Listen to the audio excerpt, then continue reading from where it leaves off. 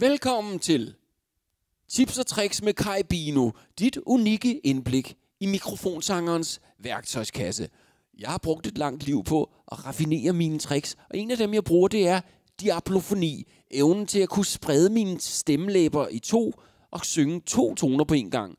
Og det har jeg fundet ud af, jeg kan opnå ved at skile, og det vil jeg nu demonstrere for jer. Ah.